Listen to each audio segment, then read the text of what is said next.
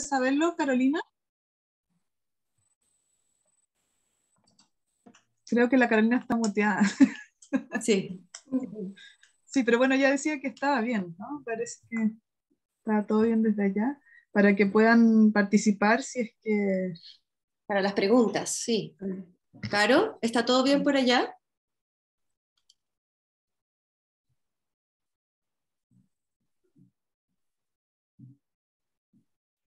Bueno.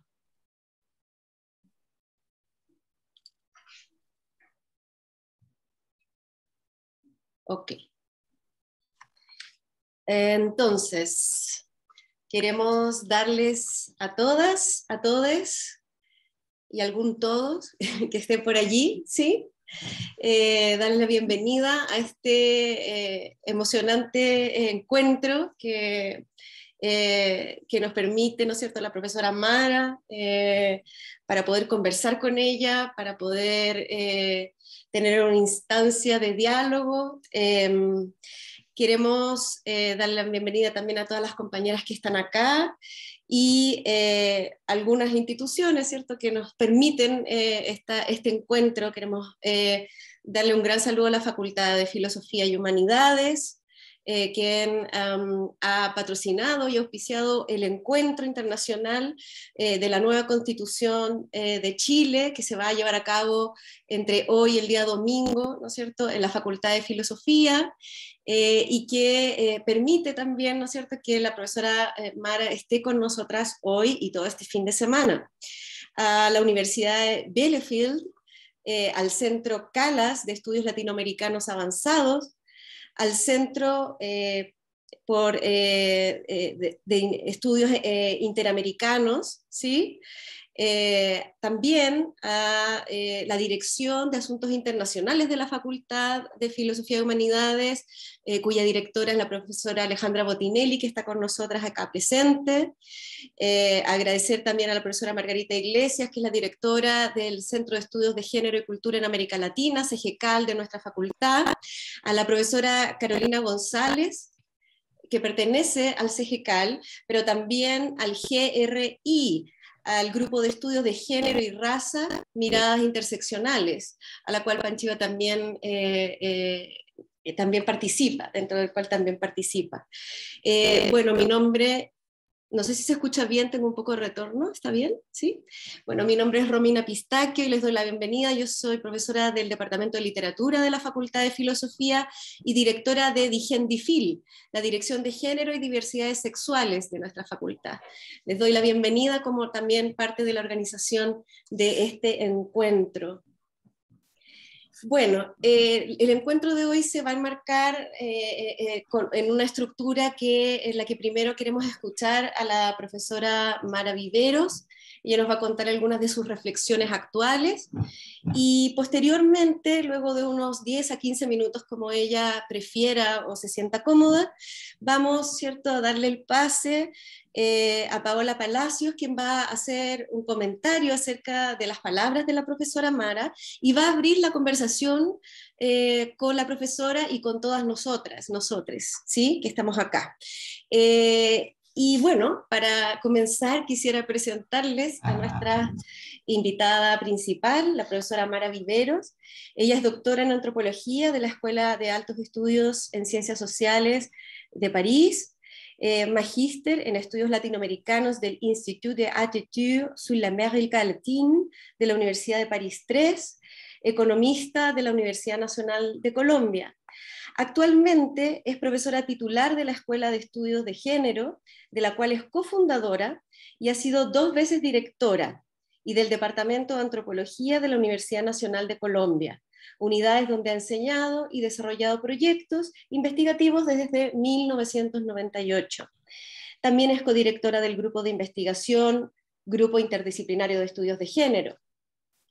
Sus intereses de investigación incluyen temas vinculados eh, con la relación entre las diferencias y las desigualdades sociales, las teorías de género y sexualidad, los hombres y las masculinidades, la biopolítica y las sexualidades, las intersecciones de género, sexualidad, clase, raza y etnicidad en la dinámica social de las sociedades latinoamericanas, el racismo y las luchas antirracistas. Es autora de varios textos fundamentales como De quebradores y cumplidores sobre hombres, masculinidades y relaciones de género en Colombia del 2002. Eh, también Le couleur de la masculinité, experiencias interseccionales et pratiques de pouvoir en América del Sur de 2018.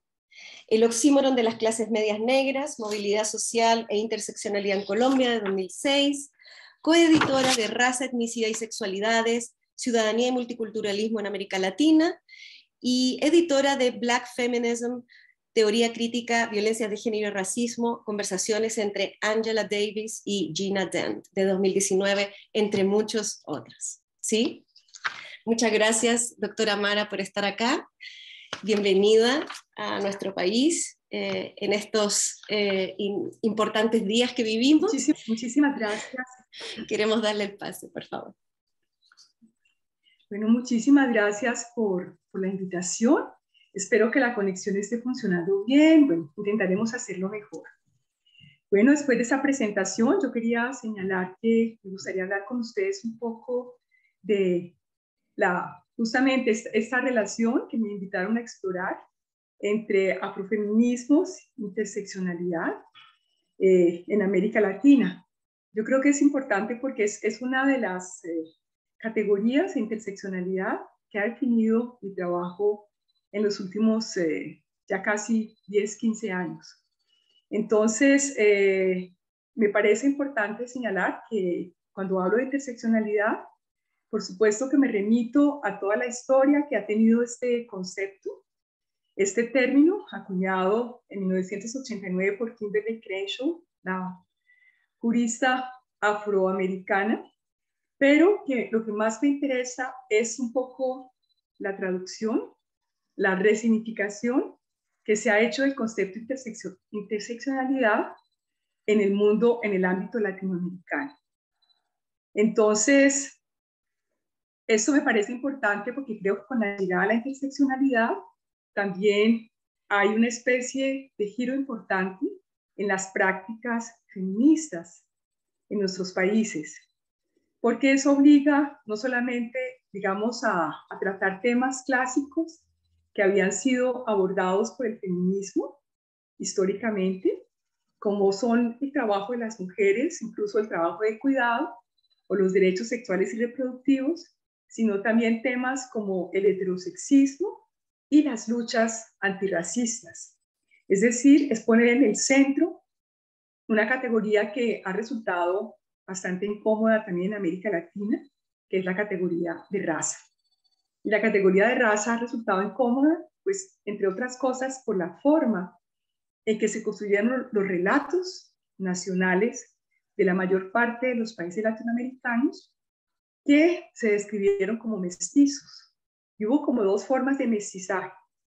Una definición de mestizaje que en realidad buscó eliminar cualquier huella de pueblos originarios o de pueblos afrodescendientes, y otra versión, digamos, como la mexicana, que al contrario entronizó, colocó en el centro la categoría de mestizo para definir su identidad nacional.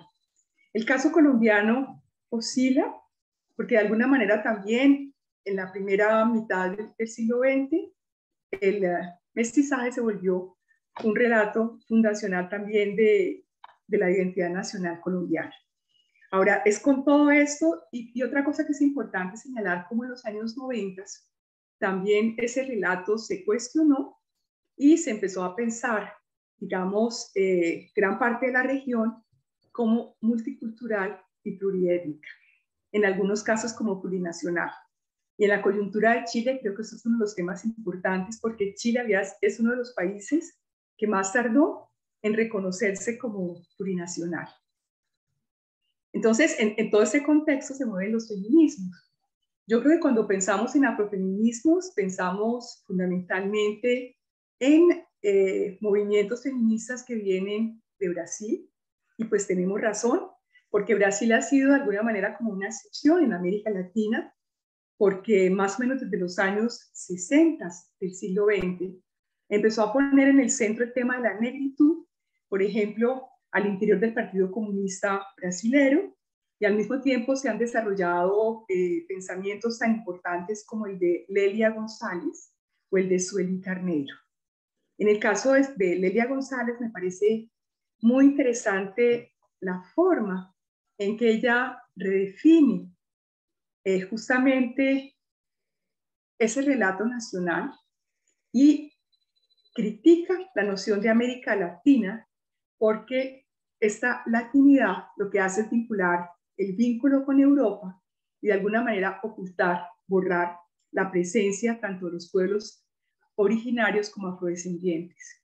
Entonces ella propone denominar ya no a esta América Latina como Avia Yala, que también ha sido otra manera de nombrarla, recordando lo que estaba antes de la conquista y colonización, sino ella dice, bueno, hagamos, demos cuenta de lo que es el devenir de esta América Latina tal como se vive, en realidad es una América Latina, y en el caso de Brasil, habla justamente de ese carácter preto, preto sería negro en, en, portugués, del portugués, mostrando, digamos, toda esa resignificación.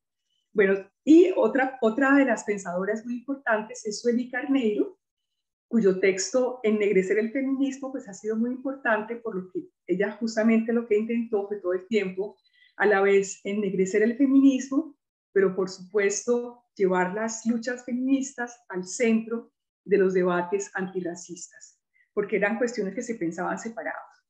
Y lo que, a lo que asistimos en el mundo contemporáneo es justamente a esa apropiación de la interseccionalidad ya no solamente en el mundo académico, ya en el mundo académico puede ser una categoría estándar, tampoco en el mundo de las ONGs o de las personas que hacen políticas públicas, sino por todo el movimiento social que ha resignificado esa interseccionalidad y ha empezado a abordar luchas nuevas dentro del ámbito del feminismo, tratando de volver feministas y antirracistas todas las luchas.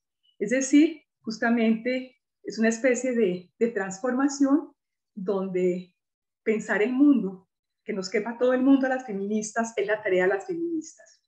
Las feministas no tenemos tareas circunscritas, somos un proyecto de sociedad.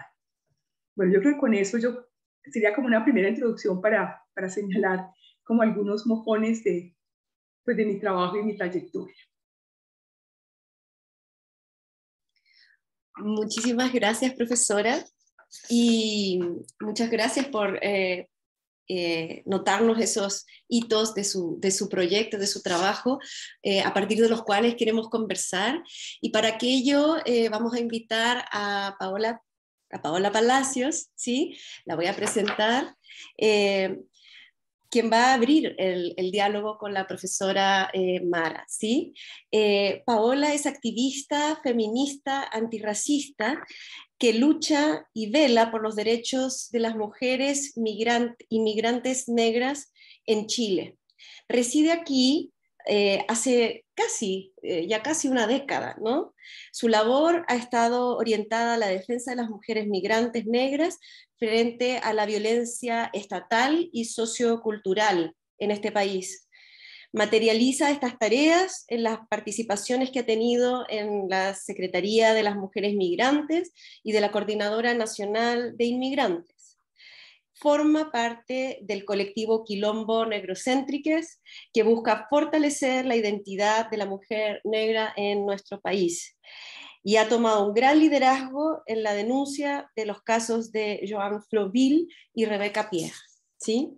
Bienvenida, Paola. Eh, muchas gracias por estar aquí con nosotras y queremos invitarte entonces a iniciar este diálogo con la profesora Mara. Gracias.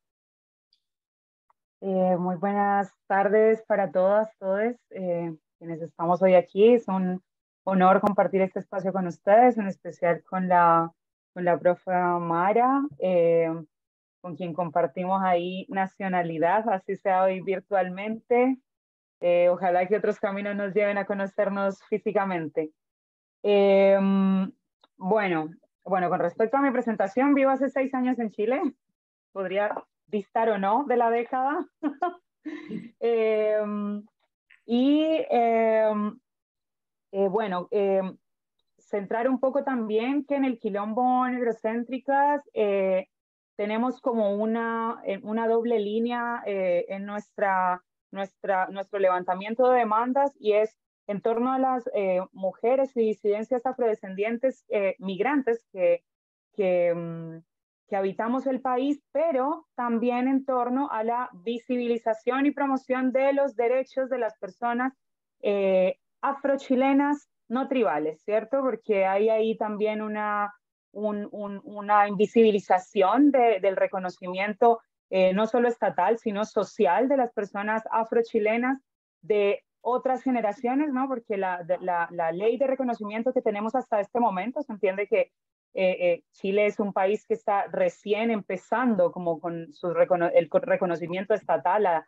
a, las comunidades afrodescendientes, pero en la ley que tenemos actualmente eh, hay, un, hay un artículo que habla de una temporalidad para que el Estado reconozca la afrodescendencia y esa temporalidad es tener que mostrar que tu familia estaba en el territorio en el siglo XVIII, ¿no? Entonces, de ahí para adelante, todas las personas eh, no hay un reconocimiento como, eh, bueno, tampoco hay reconocimiento social de los afrochilenos tribales, esta es la verdad, ¿no? Entendiendo que esta ley también eh, fue promulgada recién en 2019, tras 20 años de lucha del pueblo tribal afrochileno que está, que está más, mayormente ubicado en la, en la zona norte, en la región de, de Arica. Ahí por ahí hay una afrochilena no tribal aquí, que es la Franz Villarroel, que ahí dice reconocimiento sin temporalidad. Estamos en esa, en esa batalla por un reconocimiento más, más amplio de la, de la diversidad de, de afrodescendencias que, que, que, vivimos en el, en el territorio, ¿no?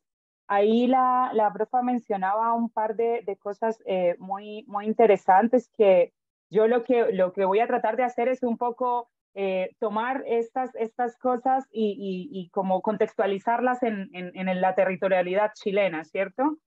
Eh, eh, comentar que, mm, en primer lugar, la, la, con respecto a la trayectoria de los movimientos de mujeres afrodescendientes aquí en, en, Chile, por ahí me acompaña Juliette Micolta, que para mí es una compañera importante de, de, de relevar, porque cuando nosotras llegamos aquí en 2016, que llegamos en el mismo año, ahí puso la Julia un corazoncito para que todos sepan. Esa es su ventanita. Em, llegamos a, eh, aquí en el mismo año eh, y em, nos encontramos con un escenario eh, donde había muy pocos espacios donde se conversara acerca de afrofeminismos, ¿no? No, era, lo que había era muy, muy, muy poquito. Sí se hablaba desde la academia, hay que decirlo. Sí se hablaba ya desde la academia de, movimientos de mujeres negras. Todo también muy enfocado en, el norte global, que es como eh, desde donde vienen como, como, como eh, todas las referencias que, que, siguen habiendo en el, en el territorio. Por eso yo creo que es tan importante su trabajo, profa, porque eh, va contextualizando estos afrofeminismos aquí en, en, nuestra, nuestro desarrollo también del movimiento de mujeres negras en América Latina, que es bastante, solamente que quizá menos documentado o eh, menos eh, compartido. Eh, no sé, las mujeres, el, el, movimiento afro-brasilero es fuerte, tiene, tiene varias representantes ahí, pero también está el tema del idioma como cierta eh, separación que genera que no, no todo lo que, lo que eh, está en portugués pueda ser traducido, pueda llegar a, todos estos otros, otros espacios. Entonces aquí en Chile sucedió una cosa bien, bien particular y es que, em, como saben, el Día de la Mujer Afro-Latina, Afro-Caribeña y de la Diáspora se conmemora hace, este año cumple 30 años, en el 92, fue esa primera reunión allá en República Dominicana, y aquí en Chile eh, no había ninguna conmemoración del, del Día de la Mujer eh, afrodescendiente porque el 25 de julio, que es el día que se, que se instauró esto en 1992, aquí eh, hubo un hito feminista bien importante que fue que a una niña de 12 años la, la querían obligar a parir tras un, un caso de abuso sexual y eso decantó en una protesta que fue convocada para el 25 de julio creo que de 2013, que fue bien mediática porque recogió como a 10.000 personas y terminó en una irrupción en la catedral de, de, de Santiago. ¿no? Entonces ahí había como una misa que estaba la alcaldesa de ese momento, un, un, cura importante para su entorno, qué sé yo, y eh, las feministas irrumpieron en el espacio y, y, eso como que detonó ahí una gran conversación en torno a los derechos sexuales y reproductivos de, de las mujeres en el territorio.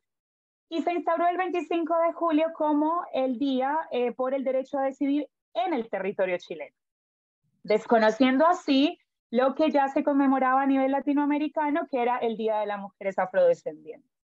Nosotras eh, en, en, nuestras colectividades hemos ido recorriendo un camino que es corto, pero yo creo que ha sido sustancioso en torno a, a ir poniendo el antirracismo dentro del feminismo chileno, eh, que nos falta mucho, pero yo creo que eh, hemos avanzado. Yo creo que se siente que hemos avanzado. Ahora es difícil que se levante un espacio sin que estemos las mujeres negras porque existimos, ¿no? No, no estamos solo en este imaginario lejano donde nos tenían antes, sino que en este momento habemos, eh, eh, no una, dos, tres, cuatro, hay un movimiento en curso que cada vez eh, llama más personas, se levantan más cosas. Hay que decir que el movimiento antirracista en Chile está bien mujerizado. Somos las mujeres negras las que estamos ahí al frente.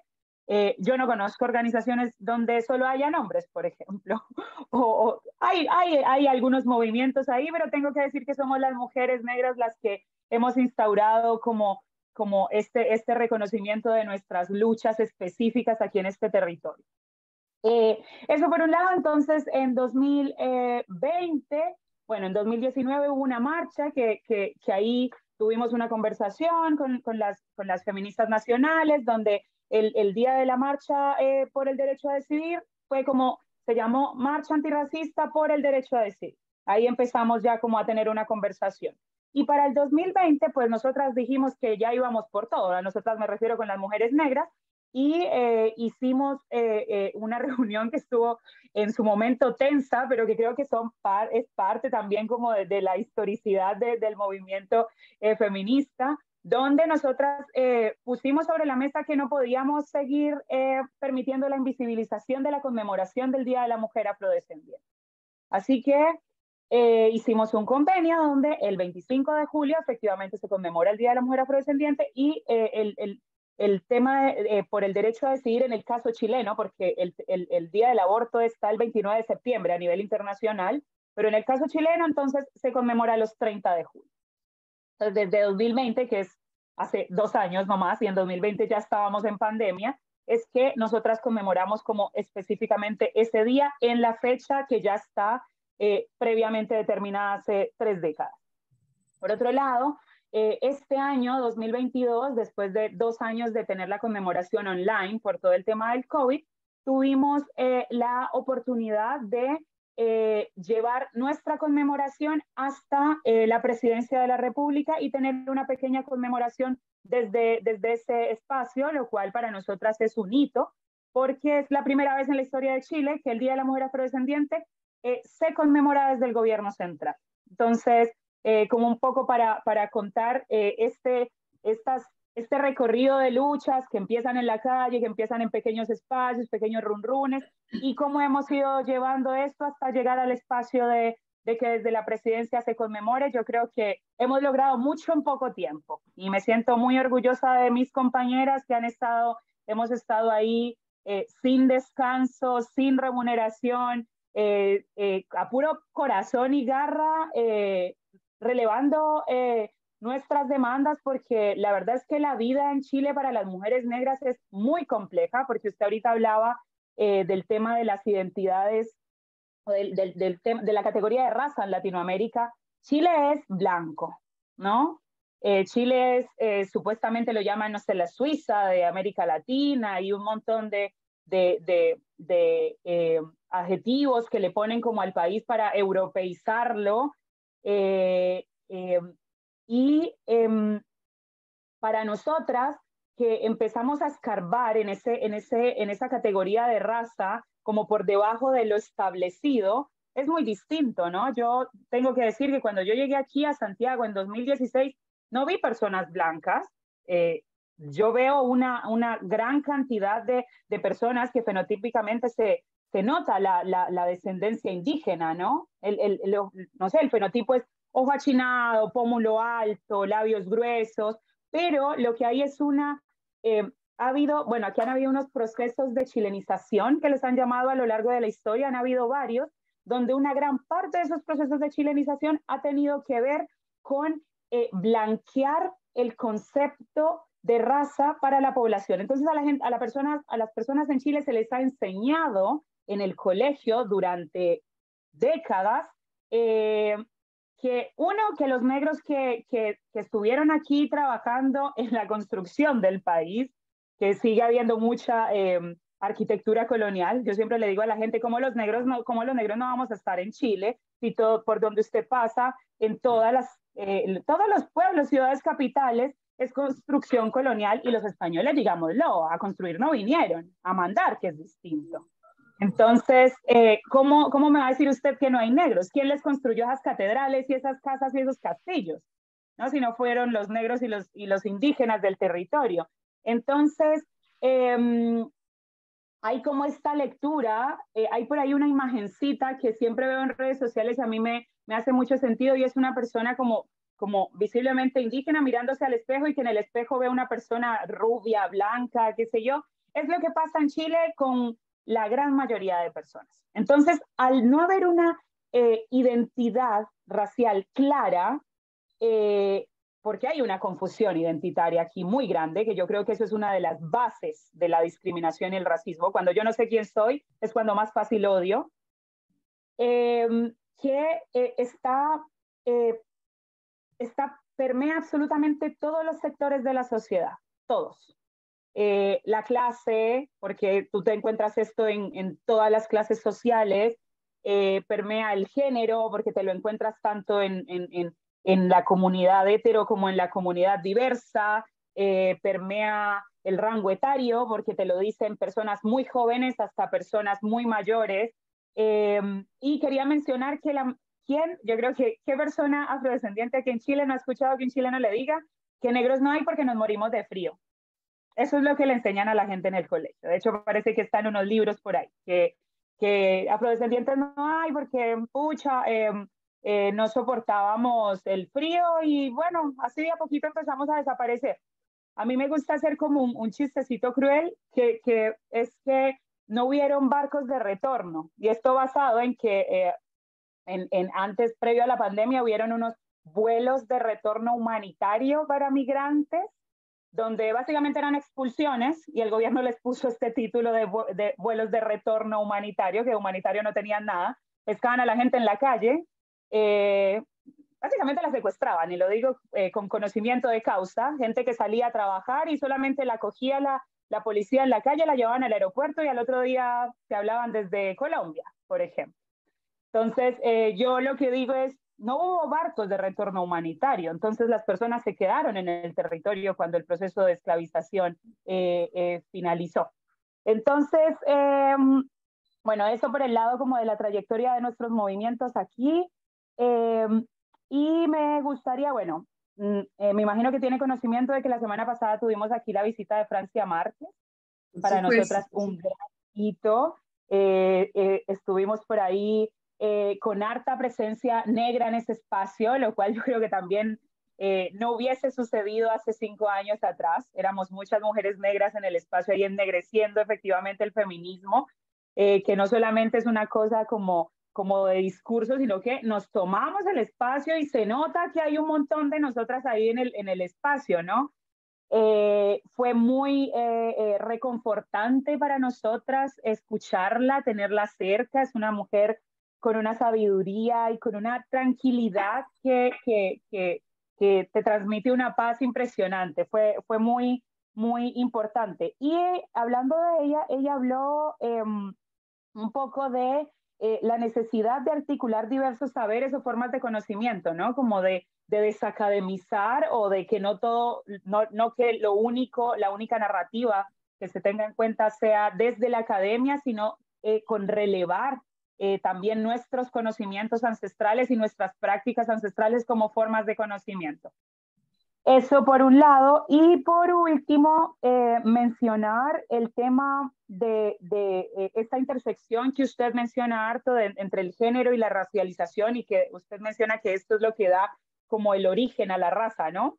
Como ahí se cimenta la raza entre género y, y, y, y mencionar que aquí en Chile tenemos em, los efectos cotidianos de la marginalización de la comunidad afrodescendiente son bien fuertes. En este momento en particular tenemos una, estamos levantando una denuncia bien grave y es en torno a la esterilización forzada de mujeres migrantes y afrodescendientes que se está dando desde eh, los, em, bueno, desde, desde, estos, de estas instituciones públicas del Estado.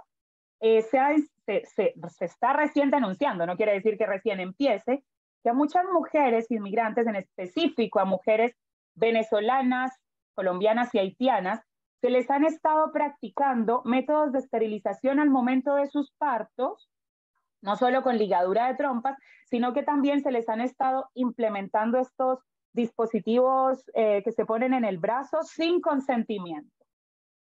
Entonces, ha pasado también con mujeres chilenas, por supuesto, de, de las clases más bajas, obviamente, eh, pero en su mayoría eh, ha pasado con mujeres inmigrantes, según algunos datos que hay, hay por ahí. En este momento se está como, como la, la, la, la investigación salió a la luz, como digo, no es que sea nuevo, pero la investigación salió a la luz porque no son dos, tres casos, son miles de casos. Hay un, un porque lo he escuchado y yo creo que muchas personas eh, negras que están aquí lo han escuchado, este tema de que las negras venimos a parir aquí, a Chile. Yo en, mi caso particular en este momento estoy gestando, tengo ocho meses de gestación donde ya es innegable que se te note la, la panza eh, y el trato eh, hacia mí como persona negra en gestación no es eh, de amabilidad, ¿no? Porque todo el mundo te dice, no, cuando estás en embarazo, las personas son muy amables, te dan el puesto. Yo me monto al metro, la gente me mira mal, no me, no me da el, puesto, ¿no? Eh, llego al CESFAM porque me atiendo en el sistema público. Ah, no, que no hay citas, ven la próxima semana, ven en 15 días, no sé cuánto. Se nota que hay un trato diferenciado, ¿no? Entonces, eh, yo siempre digo que eh, yo tengo, eh, cuento con la, con la suerte de, de, de, hablar el idioma o, que el idioma materno eh, coincida con el de este país, porque en Chile el español se convirtió como en, en como en cierto sello de civilización. Entonces, en ese, en ese contexto, las personas de Haití, que son como las personas que no, que, que no, su lengua materna no es el español, entonces se han convertido dentro de esta gran masa de, masa no, en esta gran heterogeneidad de personas afrodescendientes, se han convertido como en el enemigo principal de esta lectura de identidad en Chile. Hay, racismo, sí, muchísimo, pero hay antihaitianismo.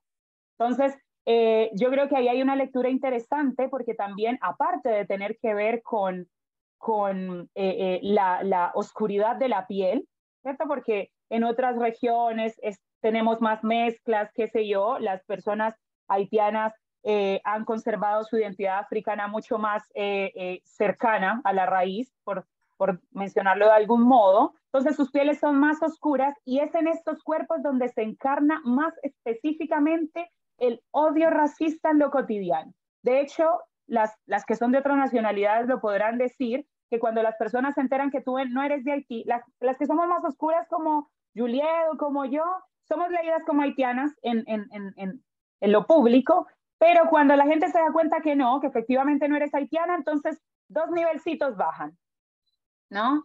Eh, entonces hemos tenido casos eh, relevantes como el de Joan Florville, esta, esta mujer a la que eh, fue detenida y posteriormente eh, yo sigo diciendo asesinada porque hasta el sol de hoy no hemos tenido claridad sobre la muerte de Joan Florville, ¿no? Que, que, que fue un fallo eh, de, de, sus órganos, que mm, no sé, todo muy raro. Eh, la, la, muerte de Rebeca Pierre, que fue una médica haitiana también, que estaba, tenía como unos dos meses de gestación, fue, a fue al médico, del médico la, la, la derivan a un hospital eh, y en el hospital le dicen que no, que no se queje tanto, que no tiene nada, y la mandan en, en bus para su casa y, y muere, fallece 30 minutos después en el paradero de bus. Eh, el caso eh, de un hombre haitiano el año pasado, Luis Gentil, que la policía asesinó a sangre fría porque la policía alegó que él tenía un, un, machete en la mano, nunca fue, lo que tenía era una, una bebida de gaseosa en la mano eh, y lo asesinaron a sangre fría y el policía que lo asesinó está libre por eh, legítima defensa, ¿no? Eh, y tenemos también el caso reciente de Paola Micolta, que es una mujer afrocolombiana acusada de haber secuestrado a su propio hijo. Está presa hace ocho meses en Valparaíso pasa mucho esto de la violencia de mujeres inmigrantes con parejas de hombres chilenos que les quitan documentos, las acusan de secuestro de sus propios hijos. Y ahí Juliet eh, menciona también los secuestros que el Estado chileno está haciendo a niñeces negras. Eh, tenemos un problema muy serio eh, porque no se, se, se, se bestializan las maternidades negras. Entonces, eh, hay un proceso ahí, eh, yo diría, eh, estructural, porque no son uno o dos casos, son muchos casos donde se le quitan sus hijos a las mujeres, en específico haitianas, para ponerlos en el sistema de adopción pública y en un país tan racista es muy peligroso que personas blancas adopten niños negros y el proceso de adopción, lo sé porque tengo, de hecho, una amiga cercana que estuvo en el proceso de adopción seis años y cuando le te asignan la criatura, tú no sabes quién es la criatura hasta un mes antes de la adopción y a ella le asignaron una niña eh, de, padres haitianos, una niña chilena de, padres haitianos. Eh, y por, o sea, por suerte, la, Catita ahí dio en una buena familia porque esta chica eh, empezó a investigar cómo poder ser un aporte a la crianza de esta niña afrodescendiente en su familia blanca pero ese no es el caso de todas las, las niñeces, ¿no? Entonces, eh, bueno, eso, para abrir ahí la conversación, dejo hartos puntos ahí. Muchas gracias, Pau. Muchas gracias. Perdón, profesora. Entonces, usted recoge algunos de, la, de, eh, varios de los puntos importantes que Paola también nos pone eh, en el contexto de la chilenidad, ¿no? Y, y conversamos. ¿Les parece? Está bien, o sea, no tengo preguntas por ahora, es más como eh, reaccionar un poco frente a esta, digamos, a esta contextualización que hace Paola de la situación, digamos, de la, cuestión afrodescendiente en Chile. Bueno, realmente eh, es importante lo que, lo que señalas, Paola, lo agradezco mucho. La primera vez que yo vine a Chile en 1995, pues realmente el relato que describes de un Chile muy europeo era el relato hegemónico. Y pues como ya lo señalaba al inicio, también Chile es uno de los países que más ha tardado en entrar justamente en relación con el discurso del multiculturalismo, que si bien no es la panacea, por lo menos se abrió el espacio para el reconocimiento de otras identidades. Es importante señalar que antes de los, del discurso multicultural, eh, esta ideología del mestizaje negaba la posibilidad de entender algunas particularidades y lo que aprendíamos en los libros de historia era que todos, y era así todos en masculino, no había todas y todas, éramos mestizos, algunos con más café, otros con más leche. Por otra parte, que Colombia era católica y además era monolingüe. Y es justamente a raíz de la Constitución del 91 que se destrona ese relato hegemónico y se reconoce por primera vez la, digamos, la multiculturalidad colombiana y la plurietnicidad. Sin embargo, eso tampoco resuelve el tema del racismo, porque de alguna manera la etnicidad fue, jugó un papel importante al inicio, sobre todo de, digamos, a finales de los años 90 hasta el nuevo milenio, de alguna manera de capturar los nuevos discursos que era, digamos, como afirmar otras formas de vida de las poblaciones negras en Colombia. Entonces, y eso se, hizo a través de, del concepto de unicidad. En ese momento no estábamos hablando de raza. Comenzamos a hablar de racismo, entre otras cosas, a partir de la Conferencia Mundial de Durban y de la visibilización a nivel global de las luchas contra la discriminación racial. Aparece la categoría de discriminación racial y en el nuevo milenio, sobre todo en la primera década, se empiezan a desarrollar, digamos, las primeras medidas, las políticas públicas antidiscriminación racial. El asunto es que la discriminación racial, que es el trato diferencial, está centrada en lo individual y deja de lado, oculta la forma en que trabaja el racismo sistémico. El racismo sistémico nunca era tenido en cuenta. Y es un poco la pandemia que sirvió como una especie de lupa agrandadora que pone en evidencia la forma en que el racismo sistémico opera, generando una, esas desigualdades sociales. Es decir, la diferencia entre el acceso a condiciones de salud, de vivienda, eh, de nutrición, que ponen a las poblaciones afrodescendientes en condiciones de riesgos mayores que el resto de la población. Y esto es, la, es, es el producto de un racismo sistémico y además es como una deuda histórica. Entonces, eso empieza a suceder y otra cosa que es muy importante es eh, la solidaridad que despierta a nivel global eh, la, el rechazo al asesinato de George Floyd en los Estados Unidos. Eso crea una red de solidaridad insospechadas y muestra de alguna manera, es decir, los medios de comunicación empiezan a hablar por primera vez del racismo en América Latina. En paralelo, en muchos países de esta América Latina se visibilizan también las violencias policiales contra los hombres negros. De hecho, pues hay movimientos en Brasil, como el movimiento de las Madres de Mayo, que están aglutinadas justamente en la defensa de sus hijos. Y pues en, eh, en Brasil que existen mediciones étnico-raciales, se ha podido mostrar la sobrerepresentación de casos de violencia policial en jóvenes negros habitantes de las favelas, por una parte, y también la sobrerepresentación de estos jóvenes y hombres y mujeres en las cárceles. En la mayor parte de los países no existen estadísticas étnicas, entonces es muy difícil documentar el racismo. Bueno, eso para señalar que eh, otra cosa que es importante al hablar de racismo es entender que el racismo del que estamos hablando tiene una expresión muy distinta del racismo que opera en los Estados Unidos y eso es clave porque todo el tiempo hay que leer en clave local el racismo. El racismo latinoamericano no le da tanta importancia como la ascendencia, sino a la apariencia. Es decir, las personas son tratadas por cómo se ven, que es un poco lo que estaba escribiendo Paola. Es un poco la forma en que somos leídas que determina la forma en que somos tratadas. Y evidentemente las personas también, para defenderse, pues han y hemos, podría decirlo también en primera persona plural, tenido que jugar con las apariencias para ganar algo que es que debería tener todo el mundo per se y es el un trato digno.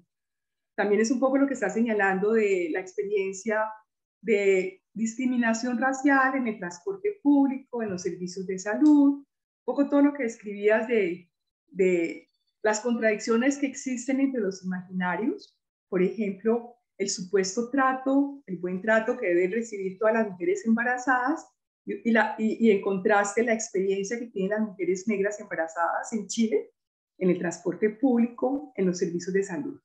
Entonces, también vemos que hay como mucha distancia entre una serie de imaginarios que no funcionan para todas las mujeres. Eso nos recuerda esa, esa frase pronunciada por la mujer eh, esclavizada Sojourner Truth en 1847, cuando ella se pregunta si acaso no es una mujer, porque ella dice que ella nunca ha sido objeto de cortesía para saltar un charco o para subirse a un carruaje. Y, se, le pregunta al público que la está escuchando, ¿acaso no soy una mujer? Y cuando yo escuchaba Paola no dejaba de pensar, bueno, ¿acaso no soy una mujer embarazada? ¿Qué pasa? Que todas estas cosas que supuestamente deberían protegerme, ¿no? No están operando a mi favor.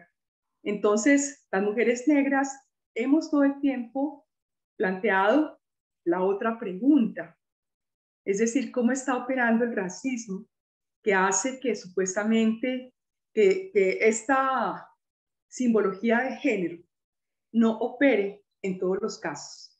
Es decir, que las mujeres entre nosotras no somos eh, tratadas de la misma manera y aunque compartamos el sexismo, el sexismo también tiene especificidades.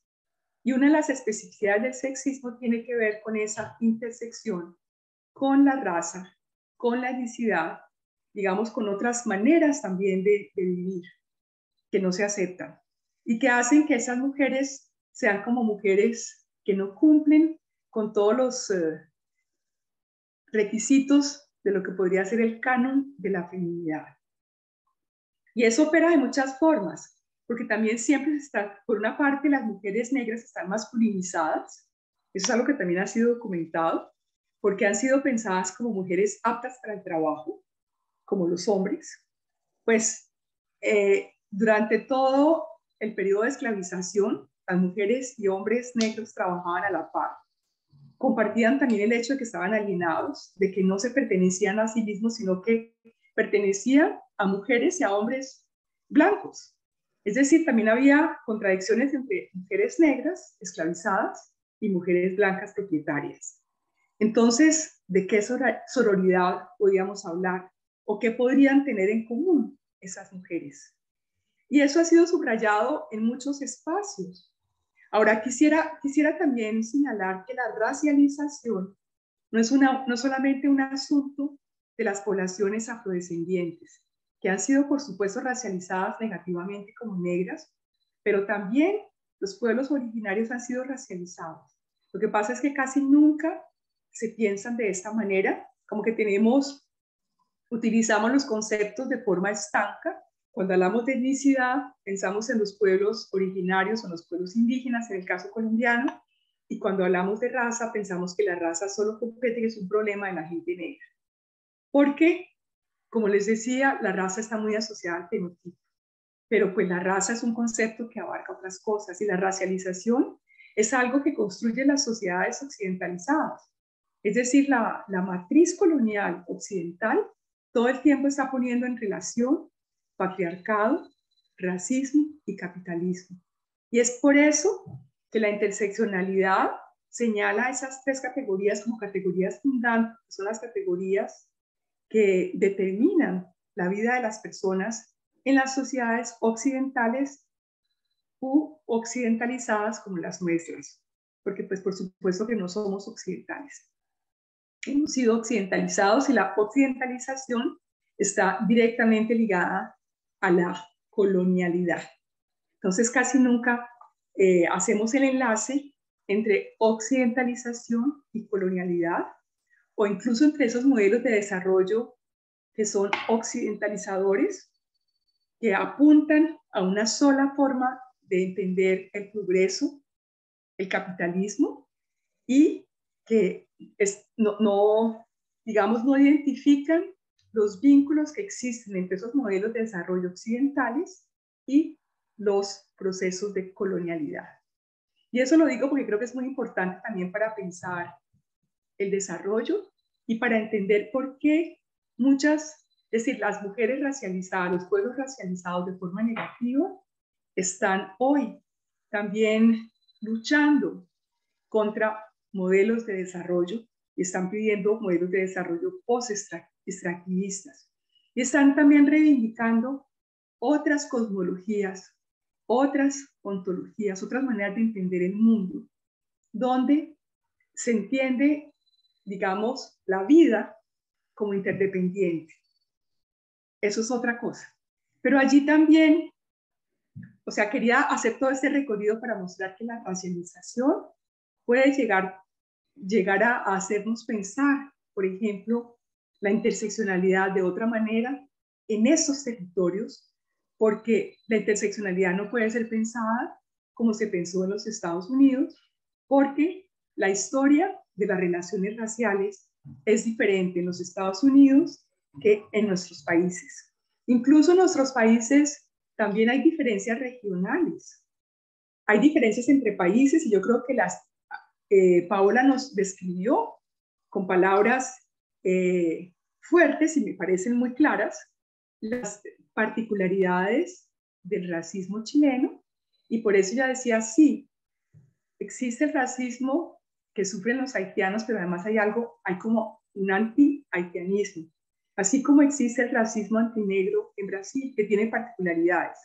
No es que los indígenas brasileños no sean objetos de racismo, pero el racismo que viven es diferente, como el sexismo que viven las mujeres negras, las mujeres de los pueblos originarios, es distinto al sexismo que también experimentan las mujeres mestizas o las mujeres, las, mujeres mestizas de esta América canadiense y las mujeres blancas. O sea, podemos tener en, común el sexismo o, por ejemplo, el heterosexismo, que sufren pues todas las disidencias sexogenéricas. Entonces, eh, aquí voy enlazando un poco como por una parte una descripción, pero también una especie de teorización. Y cuando habla de teorización, me parece importante eh, subrayar, recordar que las teorías feministas nunca estuvieron desvinculadas de los movimientos sociales. Entonces, cuando leía la frase de Francis, conocimiento al servicio de la gente, yo creo que el conocimiento feminista, de alguna manera, nació vinculado al movimiento social feminista. Y si bien durante los años 90, eh, que, es la, que es el periodo de las grandes conferencias, la teorización de género se desvinculó de, de los movimientos sociales y se generaron, digamos, algunas, eh, podríamos decir, tendencias dentro del feminismo, como es el feminismo liberal, un feminismo que, que ha sido más tecnocrático, el feminismo de hoy es un feminismo que todo el tiempo llama al vínculo con el movimiento social. Y lo que ha cambiado es que también la crisis planetaria, la crisis social, ha demandado que el movimiento feminista también se transforme. También decía al inicio que el feminismo es un proyecto de sociedad, no es únicamente el movimiento social de las mujeres para las mujeres porque incluso ha habido muchos debates en relación con lo que significa la definición de qué es ser una mujer y quién es, es decir, para quién es el feminismo. Parafraseando a Bell Hooks, hoy pensamos que el feminismo es para todo el mundo. Es, por eso decimos, es un proyecto de sociedad, no es únicamente un proyecto de las mujeres. Y ha ganado una potencia nueva y también se ha renovado con las nuevas generaciones. Y existen hoy muchísimos feminismos que tienen que ver con cambios generacionales, con cambios de época, con nuevas preguntas que emergen al mismo tiempo, con la continuidad de, muchas discriminaciones, opresiones, explotaciones. Lo que señalaba Paola de la esterilización forzada de mujeres racializadas negativamente, pues eso ha sido denunciado desde, o sea, del siglo XIX. Y es impresionante que estemos en el siglo XXI y que estemos hablando de esterilizaciones forzadas y que al mismo tiempo se estén moviendo por una parte reivindicaciones de, la opción libre a la, a la, maternidad y que al mismo tiempo se, esté, se estén haciendo esterilizaciones forzadas. Lo que pasa es que lo que vemos es, como si fuera, como si unas reivindicaciones solamente fueran accesibles para unas mujeres y unas opresiones fueran también destinadas a otras mujeres. Lo que también nos muestra que la categoría mujeres es una categoría heterogénea. y que en ese sentido solamente desde un esencialismo estratégico es que podemos enarbolar banderas que cobijen a las mujeres en general, tratando justamente de crear coaliciones y de pensar la política no en términos identitarios, sino en términos, digamos, de coaliciones, de ampliar esa base utilizando un esencialismo estratégico en forma política.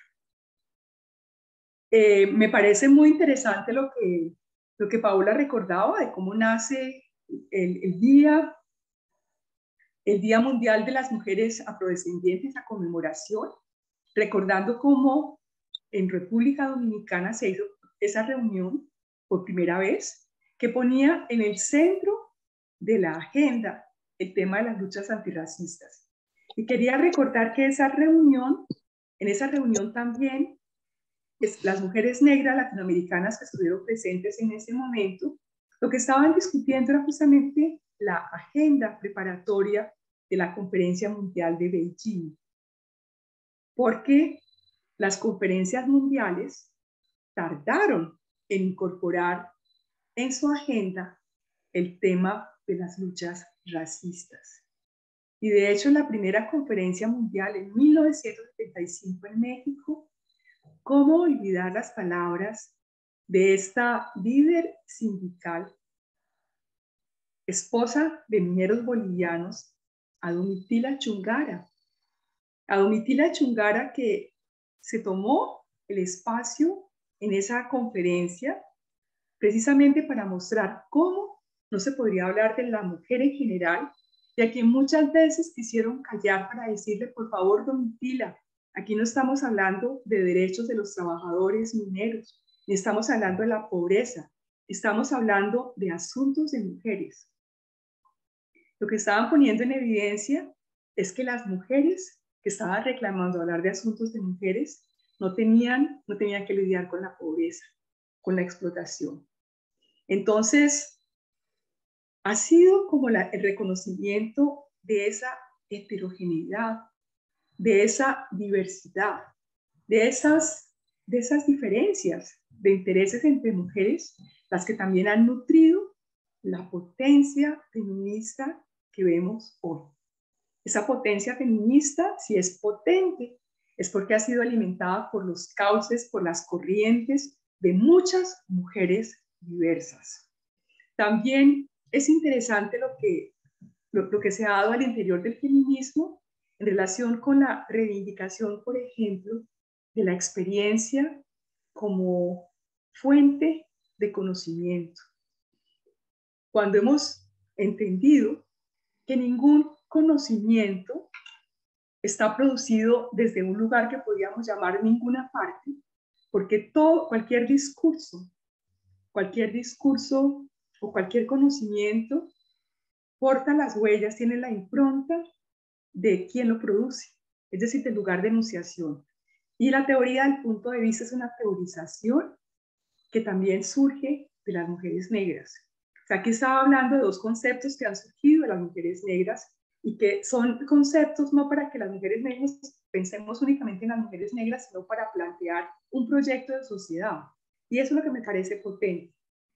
Cuando ya no solamente los conceptos sirven para pensar, digamos, un grupo, sino son conceptos que, que, que, entran a la teoría social y que la renuevan, la transforman. Muestran también los vínculos que existen entre teorías, un poco para recoger la frase de Francia, entre conocimiento y gente que no pueden estar separados. Entonces, quiero recordar que, que la mayor parte de los conceptos que ha producido la teoría feminista han sido conceptos estados en los movimientos sociales, estados en la calle. O sea, no hay que imaginar que lo que pasa en la calle no tiene nada que ver con el mundo de la academia. Y también la academia ha tenido que cambiar, porque si la academia insiste en quedarse en su torre de marfil anquilosada, se convierte en una pieza de museo. Y yo creo que lo que es interesante del feminismo es que, y de la academia feminista, la teorización feminista, es que es una teorización viva, transformada, nutrida por el movimiento social. Sea, la savia de, de la teoría, o sea, el verde verde de la vida de la teoría feminista tiene que ver con el movimiento social. Si no, se convierte en pieza de museo y pierde pertinencia, vitalidad, profundidad. Bueno, creo que de alguna manera eh, recorrí un poquito lo que, también un poco lo que señalaba Paola, entré en, en ese diálogo. Muchas gracias, profesora Mara, muchas gracias.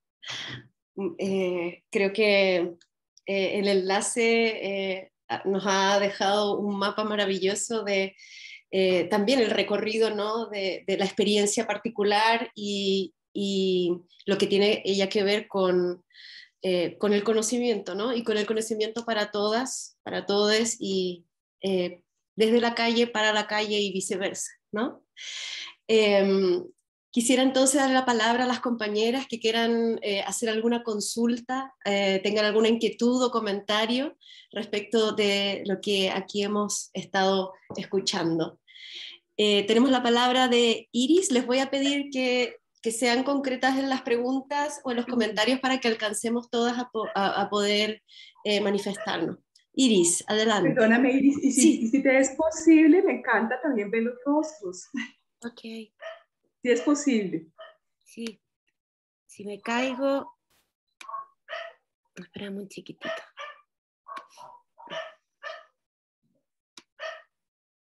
Ahí estoy. Gracias por compartirnos. Sí, no, un gusto esta invitación, un gusto poder estar contigo. Eh, voy a tratar de ser sintética, pero no lo soy. Eh, em, me parece súper importante, por un lado, el concepto de interseccionalidad que, que, que, se está poniendo al frente, ¿no? Yo veo mucha interseccionalidad en las disidencias sexuales, están los discursos, en los feminismos, en feminismos que han tenido un carácter hegemónico también, ¿no? Entonces, encuentro que es súper bello porque está hablando de la necesidad o de la comprensión de la importancia del encuentro, de estos cruces. Pero ahí no puedo dejar de pensar en, no sé, pues como en la historia, ¿no? En la, en la importancia que ha tenido, por ejemplo, la agenda de derechos sexuales, eh, que ha sido importante, ¿no? pero que ha sentado también un carácter eh, democrático basado en estos derechos, perdón, pero no en los de la raza.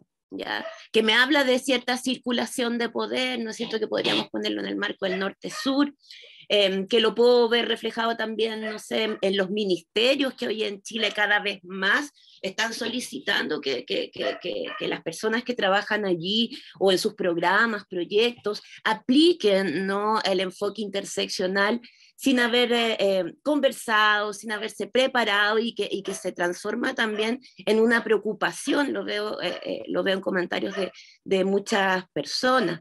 ¿Ya? Em, como te digo, yo no puedo dejar de ver esto sometido también a agendas globales, vienen muchas demandas que son desde el norte, ¿ya? Em, me desordeno y vuelvo a poner a, a, estas personas que están trabajando con intersección, interseccionalidad, ¿ya?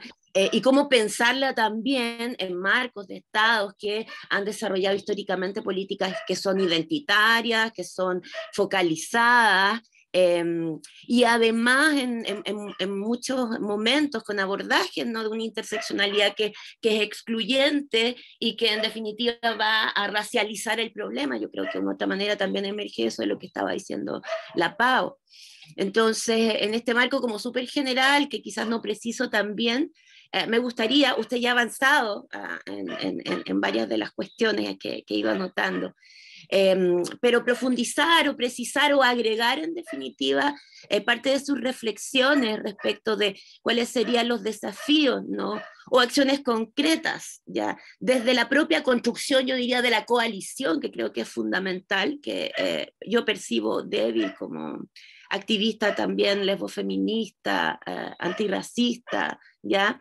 Y a sabienda también de, los contextos, para que esta interseccionalidad de la cual más sabemos que se ha abordado como una suma, que está subsumida muchas veces por términos que son blancos, en un país como Chile, que como dijo la Paola, todavía posee un debate, eh, un debate súper débil sobre la raza, sobre el racismo.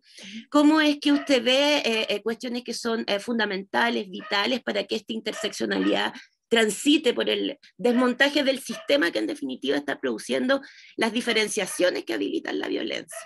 Eso como en términos generales. Muchas gracias. Claro que sí, Iris. No sé si recojo también la, de pronto la pregunta de Iris e intento contestarlas ambas o la respondo una a una, no sé. ¿Tiene algo que ver? Iris? Es completamente distinta. Yo, eh, ah. en, la, verdad, eh, me gustaría hacer eh, algunos comentarios más que nada, porque, eh, bueno, yo soy brasileña, soy de la Amazonía brasileña, el norte de Brasil, estoy completamente alejada del centro, ahí, eh, sur del país. Y bueno, más que nada me gustaría agradecer esta instancia y esa importante, este importante momento de conversación y todos los que están responsables por, ese momento. Y bueno, a mí me dio mucho gusto escuchar a la profesora, principalmente porque cuando usted habla de la interseccionalidad, no olvida de las brasileñas, que también ya en los años 80 ya empezado a tener ese discurso fuerte de este proyecto de involucrar eh, raza, clase, sexo en, su, en un Brasil completamente estructurado por el, el modelo esclavista porque como sabemos fuimos el último país a salir ¿no? de la esclavitud oficialmente, eh, pero estamos ahí con todo el imaginario, con toda la simbología, con toda la estructura todavía de un país que racializa sus propios hijos, ¿no? Porque allá en Brasil, nosotros, más del 50% de los brasileños son negros. Somos prácticamente eh, el país donde más hay negros fuera de África y estamos impulsados todavía por una estructura completamente racista, ¿no? Trabajé eh, en Brasil, trabajo con, tengo un proyecto de traducción en la universidad que trabajo justamente para eh, circular esos conocimientos que existe en América Latina de países hispanohablantes y en Brasil de habla portuguesa, ¿no? Porque existe como un desconocimiento donde igual nos topamos con situaciones muy semejantes, ¿no? Lo que pasa, lo que pasó Pau en Chile, yo también tuve esa experiencia en el sentido de que en mi, en mi investigación de doctorado hice justamente el trabajo de, de intentar eh, llevar una narración contrahegemónica de estas mujeres negras inmigrantes en Chile que estaban siendo completamente racializadas, eh, eh, sufrieron violencias físicas, epistémicas, etcétera, etcétera, que eso viene igual tanto de la propia comunidad cuanto también de la academia, ¿no? en pos de, de, los discursos que, que se promueve dentro de estos espacios, ¿no? Y, y más que nada es que es un proceso que vivimos todos en América Latina de una forma general. ¿no? Yo hablo de mi lugar de enunciación que es en Brasil, justamente porque eh, recién estamos eh, saliendo a la luz con un, reconocimiento de escritoras pensadoras intelectuales afro-brasileñas. ¿no? Esa, esa que ya venía eh, González desde los 80, ¿no?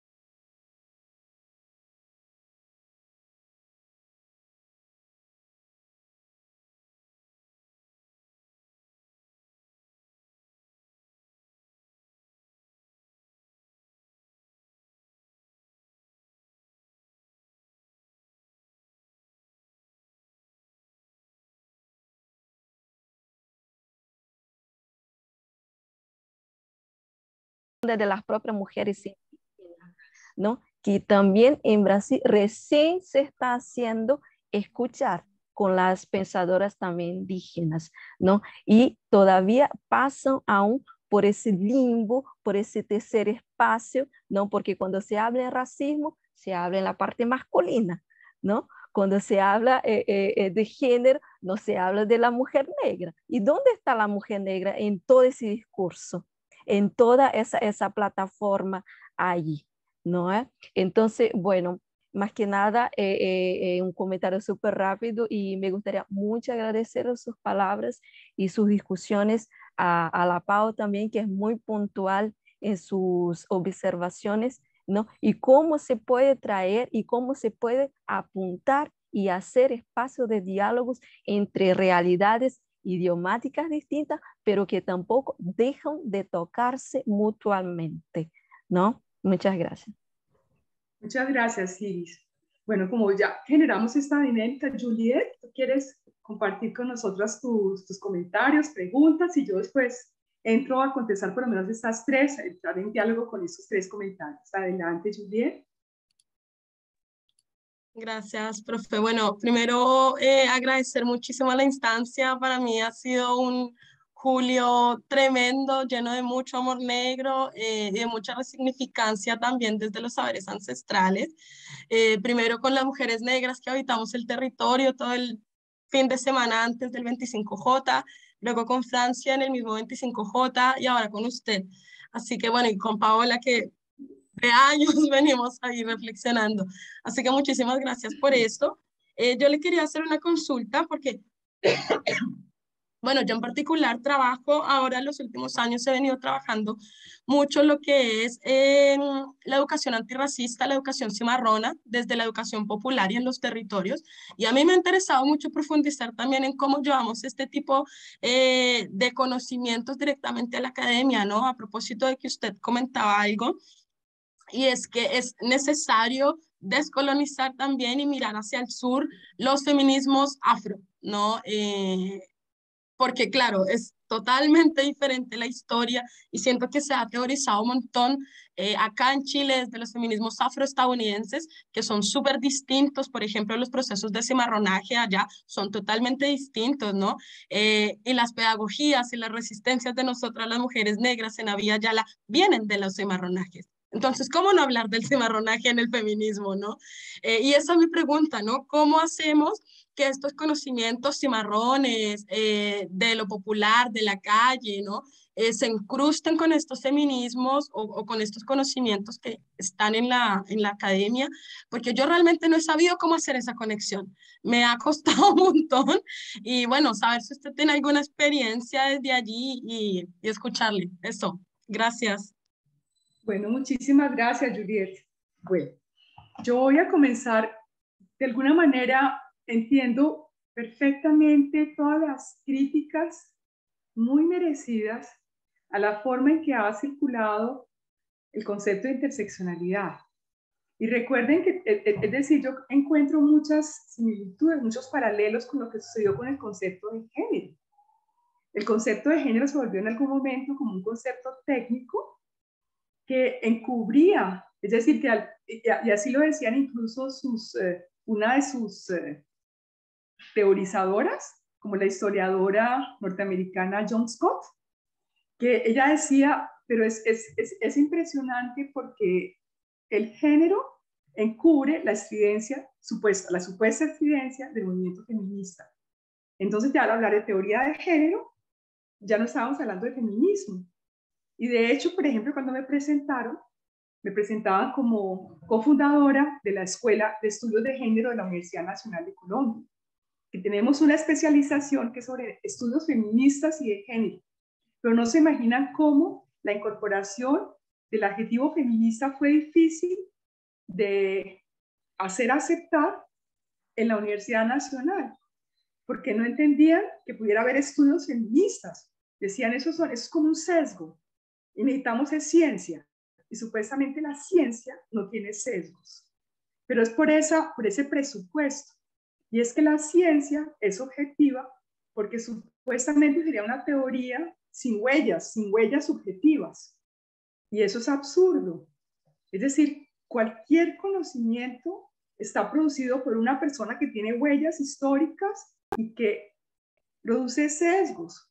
Y por eso lo más objetivo es decir, cada vez que producimos conocimientos parciales que interactúan en resonancia y que de esa manera tenemos un acercamiento a la realidad social más rico y complejo. Pero son puros conocimientos parciales y deberíamos comenzar por asumir la parcialidad de la producción de conocimiento. Eso es lo primero.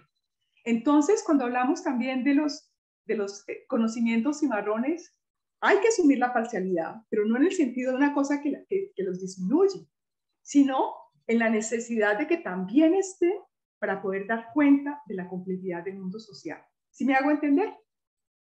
Porque creo que uno de los problemas es imaginar que hay una sola forma de conocer. Yo creo que eso es absurdo. También cuando estamos diciendo hay muchas cosmovisiones, la única cosmovisión es la cosmovisión occidental. Pero incluso vamos a ver que cuando nos adentramos en lo que llamamos los afrofeminismos, también hay una variedad inmensa, hay una heterogeneidad interna. Entonces es importante imaginar que tampoco las mujeres negras somos una categoría social homogénea. Eso es una invitación, pero a entender todo el tiempo la heterogeneidad de cualquier categoría social. Estábamos hablando de que no existe mujer, la mujer, sino las mujeres en plural. Y eso es aplicable para cualquier categoría social.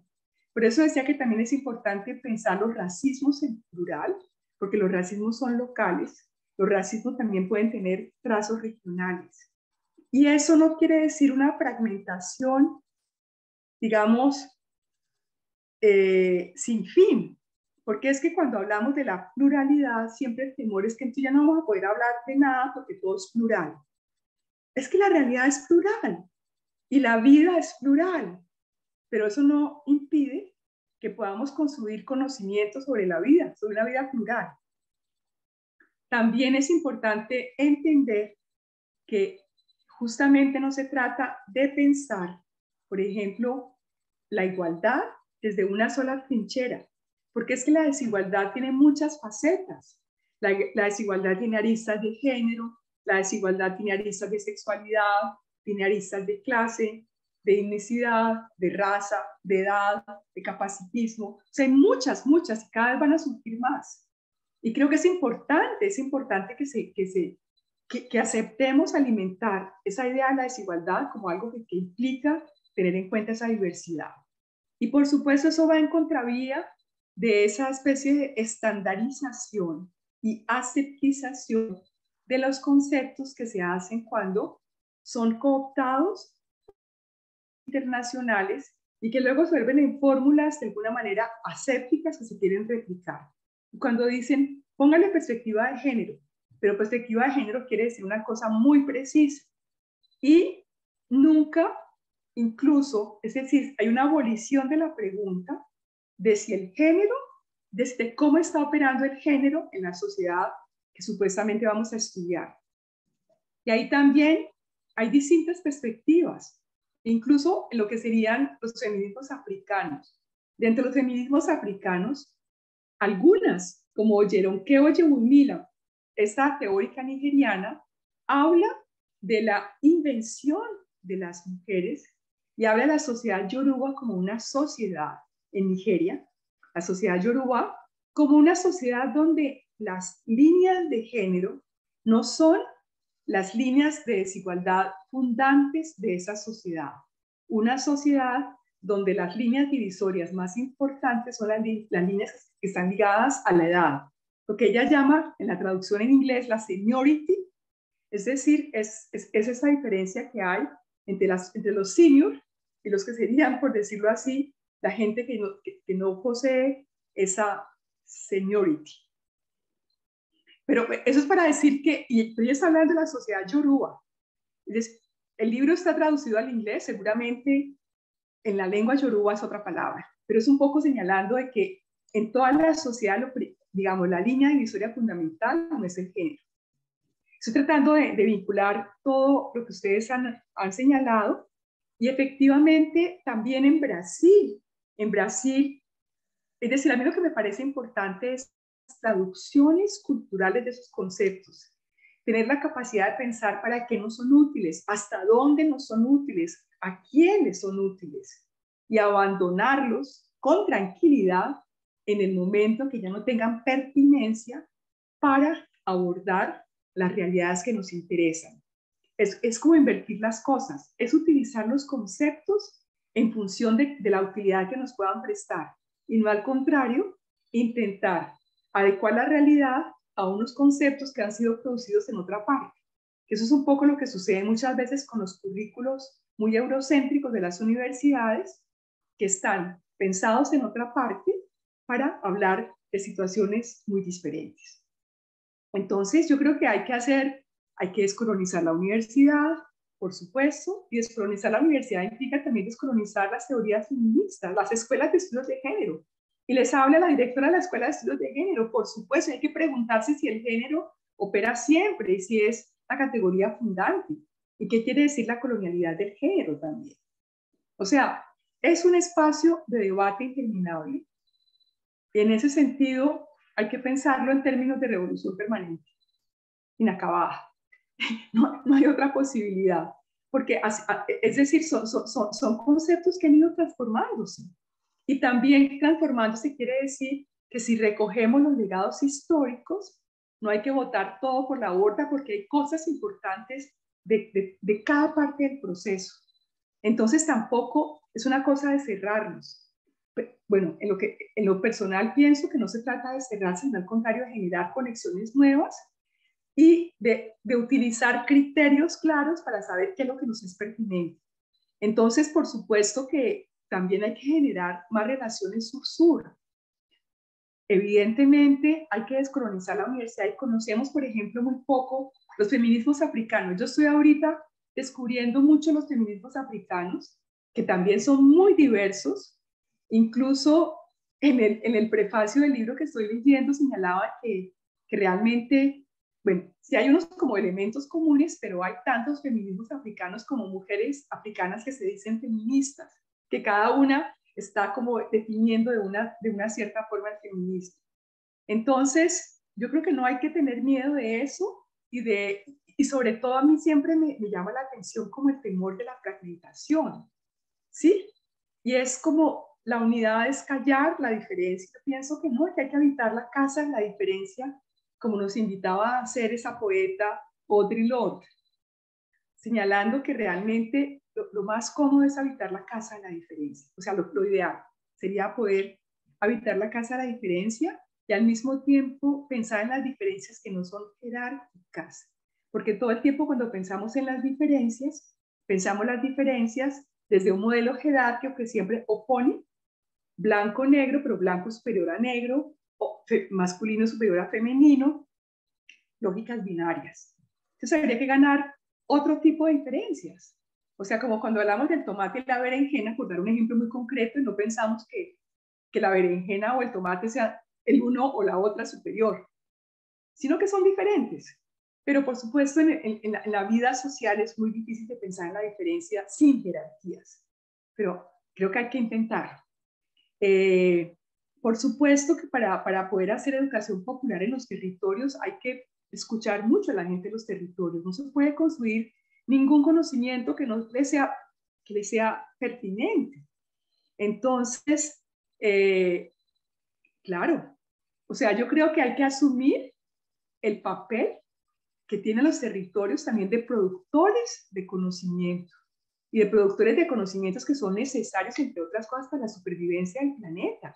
Necesitamos de todos los saberes porque de esta crisis no salimos vivas, vives, soles necesitamos el concurso de todes. Entonces, eh, y el concurso de todes, decirlo suena muy bonito, pero el, discurso de todes no se escucha. Hay una gran sordera a escuchar, digamos, la, la producción de conocimiento precisamente de los, digamos, de las comunidades que han sido subalternizadas.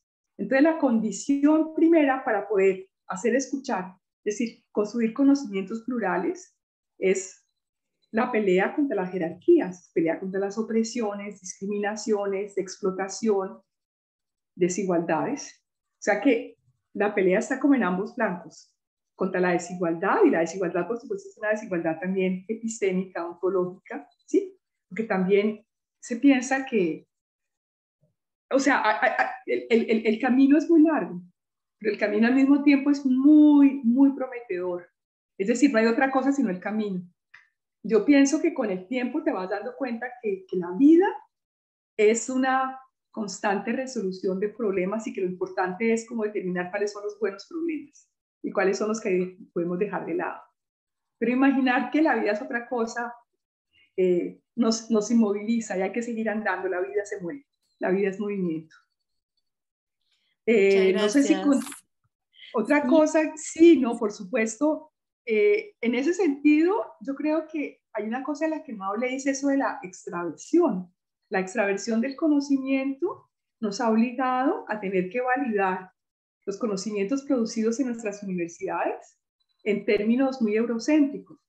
Entonces, y hay que jugar con las dos cosas, pues digamos, eh, cuando se pueda, y, si no, hay que hablar fuerte para, para poder defender el conocimiento propio. Eh, ese es un debate muy fuerte en Colombia, ya lo debió señalar eh, Francia Márquez. Eh, la gente, por ejemplo, escucha muy mal lo del vivir sabroso. Yo me he preguntado por qué esa resistencia a eso del vivir sabroso. Ella ha explicado en numerosas oportunidades cómo el vivir sabroso en un contexto como el colombiano, de un conflicto armado interno tan largo, es también vivir tranquilo y vivir en paz. Pero hay una estigmatización sobre lo sabroso porque está encarnado en una mujer negra. Y las mujeres negras hemos sido hipersexualizadas, una especie también de, de jerarquías morales, en que todo lo que implica goce placer es como si estuviera del lado pecador y malo, y al contrario estuviera como un etos masculino de trabajar, trabajar y trabajar. Y ustedes al escucharme decir tres veces trabajar, saben a quién estoy nombrando. Entonces, eh, y también la pregunta que yo me hacía, pero estas personas que hablan tanto de trabajo, no son los trabajadores directos. Están elogiando el trabajo, pero no el trabajo que hacen esas personas mismas. Bueno, eso, eso, digamos es como, como casi que inacabable, eh, pero creo haber intentado también generar, he intentado generar como conexiones entre las inquietudes que manifestaron. No sé si Iris también tú te sentiste, Iris Hernández, si tú te sentiste eh, respondida y ahora, ¿cómo hacer para que es, es, es, esta, este peso del norte global? Pues es que es una lucha que hay que dar en muchos terrenos. Y por supuesto que las luchas por la justicia epistémica son fundamentales, pero las luchas por la justicia epistémica no pueden estar desligadas de la justicia de género, de la justicia de raza, racial, la justicia sexista. Yo no tengo otra manera de entender la justicia. Es decir, ahí también recuerdo a otra feminista negra que es June Jordan, cuando dice que la justicia es indivisible. Que en ese sentido hay que sustraerse a esos concursos de las opresiones principales, imaginando que hay unas injusticias más injustas que otras. Es decir, la idea es, al contrario, ganar la sensibilidad contra todo tipo de injusticia. Y me parece muy interesante cuando, cuando Paola nos recordaba que en un momento yo la noté, las luchas antirracistas en Chile están muy mujerizadas. Entonces también es mostrando que las mujeres hoy no tenemos temas de mujeres, que era como lo que le estaban reclamando a Domitila Chungara en 1975, diciéndole, oiga, Domitila habla de asuntos de mujeres. Ella decía, pues es que yo no puedo hablar de otra cosa sino de lo que yo vivo como mujer, y yo como mujer, pues también vivo la pobreza y la explotación. No puedo dejar de hablar de eso. Entonces, eh, ganar una idea radical de la diversidad de las mujeres nos hace pensar el mundo en su totalidad. Un mundo que, que pone en relación desde las luchas anti-extractivistas hasta, hasta, el derecho, por supuesto, a la, a la libre opción a la maternidad, hasta las luchas justamente por, por el cuidado, sin pensar que el tema del cuidado es únicamente un asunto de remunerar, a las mujeres sin cuestionar la división sexual del trabajo. Bueno. Sí, sí, ¿no? Muchas gracias, profesora Mara. Eh, Panchiva, ¿tú querías hacer eh, una última intervención? Sí, yo justo te estaba escribiendo y diciendo que estaba tan lindo el cierre que, que no importaba. no, no, por favor. Hola, es un gusto poder compartir el espacio con, tantas personas y con la profe Mara. Em, yo estaba pensando que nosotros tenemos un problema acá eh, y le vamos a poner un problema, no sé cómo será en otras partes, pero sí es un problema en los feminismos de, del sur, del sur, em, que tiene que ver con, con, estas lógicas medias triunfalistas que se han estado instalando, ¿no? con la hipervisibilización de los movimientos feministas, con gritos del tipo arriba el feminismo que va a vencer, ya, y es complicadísimo porque vencer en relación a qué es instalar de nuevo un discurso súper moderno y súper normativo em, y súper masivo. Y me gusta mucho todas estas cosas que han estado conversando que tienen que ver justamente con la posibilidad de retroceder, con la posibilidad de, de, retroceder, no como dejar las cosas como si no importaran, sino retroceder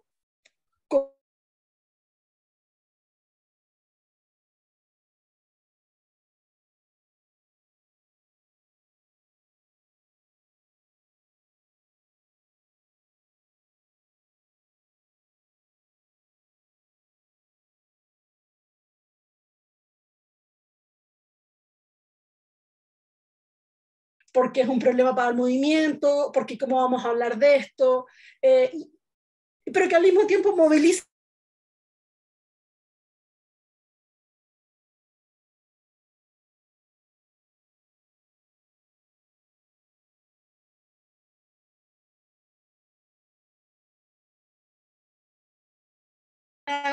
Eh, pero tiene que ver con eso, ¿no? Con la, con la alegría de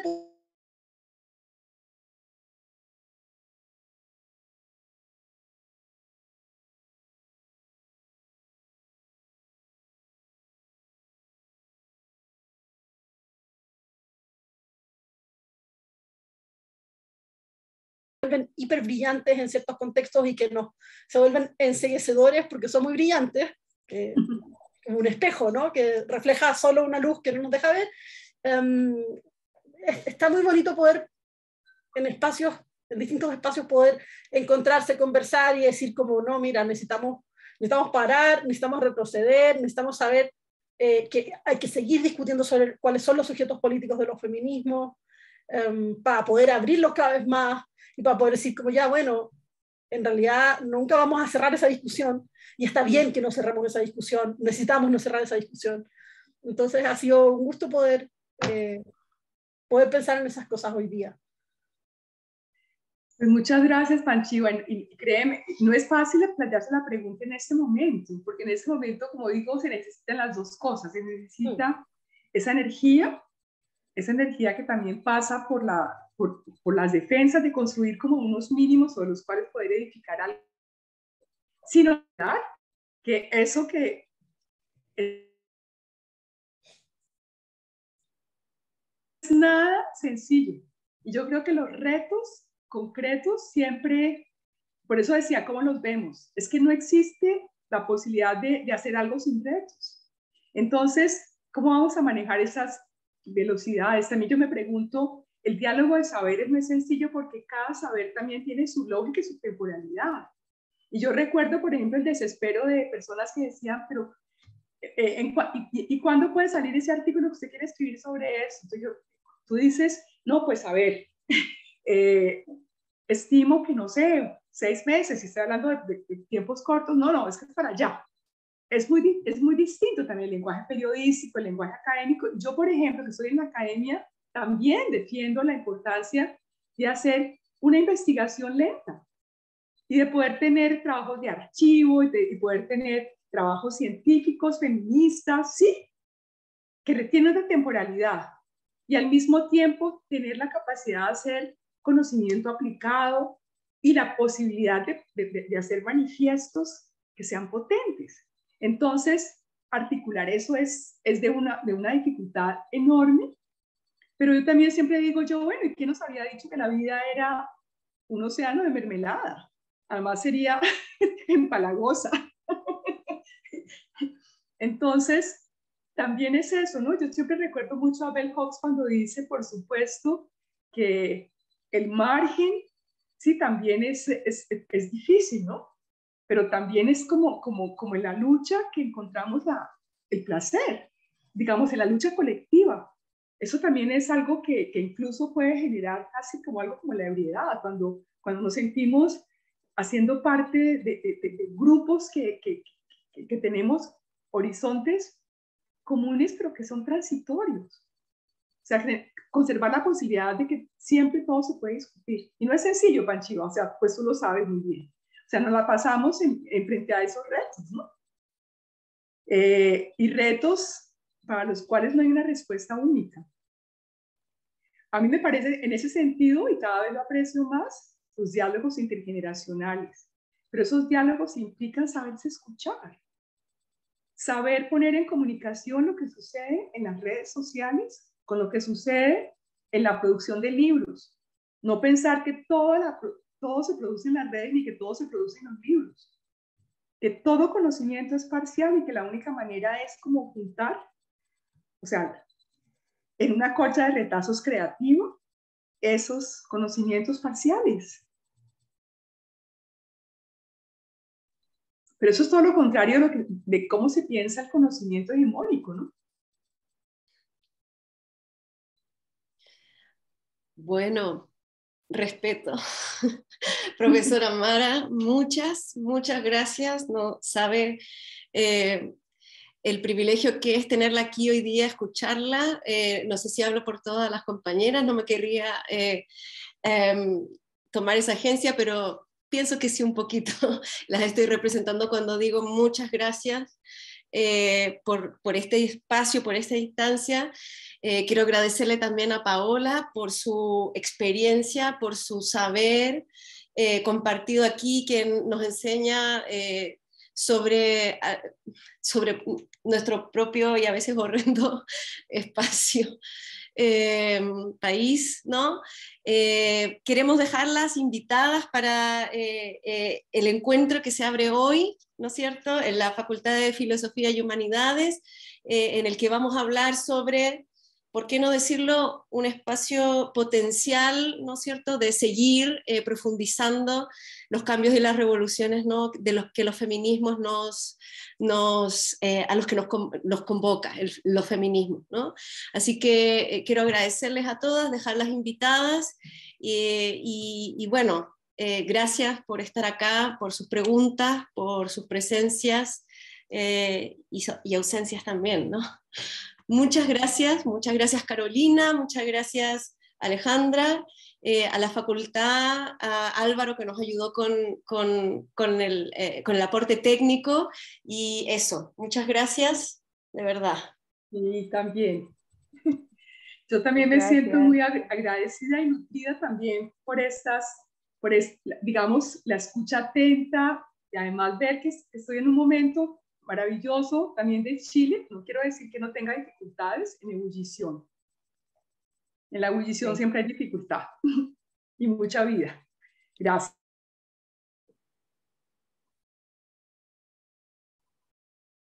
Chao. Nos despedimos. Que estén muy bien. Gracias. Mucho. Gracias. Que estén muy bien. Hasta luego. Hasta luego.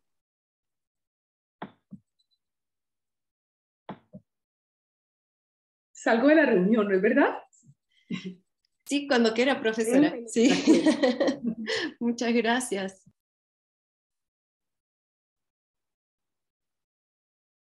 Chao, Iris, que estés bien. Gracias.